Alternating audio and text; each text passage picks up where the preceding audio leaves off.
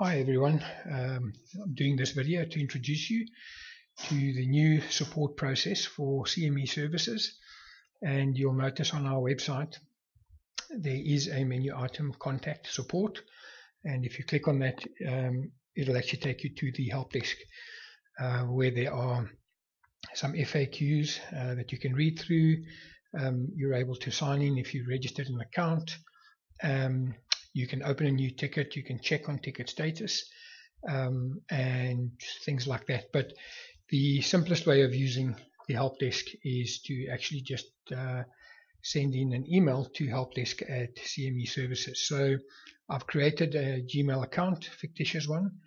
Uh, Simon says um, you will probably at some stage, if you are going to be using the help desk uh, on a regular basis, and especially if you have purchased an SLA plan with us, um, you will um, either if you haven't already registered your own account, you will uh, be registered via um, us on the help desk, and you will then need to activate your account. Um, so I've actually been through the process already for this account, but I just wanted to make you aware of, of that. When you activate the account, it just asks you to create a password for it and then logs you in automatically. So what we're going to do now is we're going to compose an email um, to helpdesk uh, at CME services and test support request number two. Please assist with um, website login issue.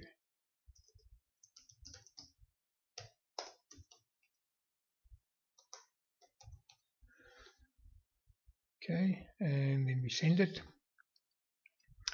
As soon as a um, consultant um, has responded, you'll receive a response, but you will also receive an automatic response that the ticket has been created with the ticket number a generic response basically. So here we can now see in our inbox the automated reply has uh, arrived and we can see the ticket number, the topic, um, the subject of the support request and then there was also a an automatic response because we're we're either over a weekend or observing a public holiday. Um, but generally you won't see that uh, during working hours or working days in any case.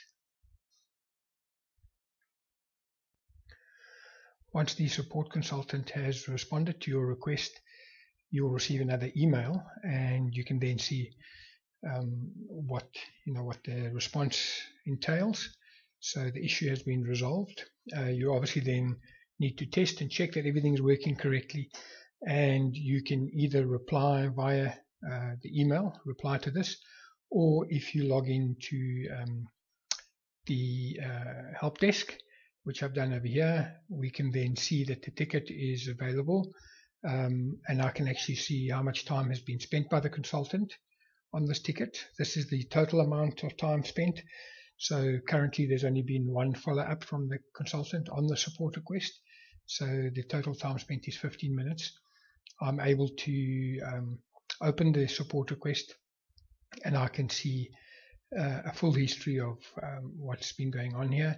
And here we can actually see that the time spent and um, what it was spent on basically. Um, and you're you're also able to then post a reply here.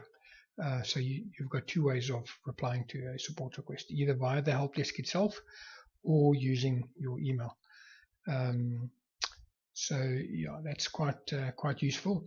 What you will also see is if you hover over um, over something, uh, you can actually uh, you can actually see more detail, and um, if you click on the actual ticket, yeah, it takes you into the into the ticket itself. Okay, so that's pretty straightforward. Um, a, a, complete list of your tickets will be listed over here. If you have open tickets and closed tickets, uh, you will have a um, another tab over here or a link over here for closed tickets. um, that you're also able to follow up on. Closed tickets, if a ticket has been closed and you find that there's still an issue after it has been closed, you can simply just open that ticket, respond again at the bottom, and it reopens the ticket um, for further follow-up. So that's pretty straightforward. Okay, so let's respond from here then. Um, thank you. I have tested the login.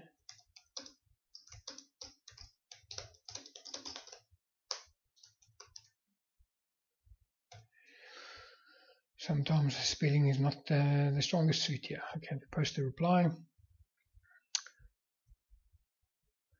And now we see that there's another response on the ticket after we replied. And I've changed the status of the request to resolved. So we can go back into the support help desk and we can, um, if we refresh tickets, we can actually see now we only have a closed ticket because it has been marked as resolved. And we can see now uh, the time spent has gone up to 20 minutes. So uh, another five minutes was billed for closing the support request. Okay, so we can actually see there. Um, and that's it. So this is uh, obviously a, an improved way of um, seeing, especially uh, when you're on an SLA agreement, um, seeing how much time has been spent on a support request and how that affects your your balance on your SLA agreement. Hope you found this useful. Thank you.